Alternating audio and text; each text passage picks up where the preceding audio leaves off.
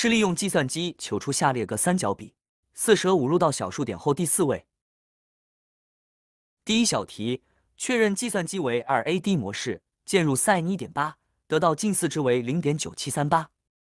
第二小题，确认计算机为二 A D 模式，键入口 sin 五点二拍，得到近似值为负零点八零九零。第三小题，确认计算机为二 A D 模式，键入口 tangent 三点五拍，得到 error，因此 tangent 三点五拍没有意义。